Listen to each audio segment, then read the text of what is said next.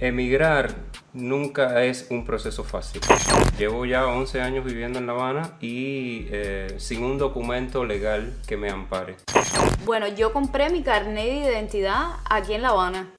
Este es un país donde las cosas se resuelven. Yo viajo provincia una vez al año aproximadamente. Es como si viviera fuera de Cuba.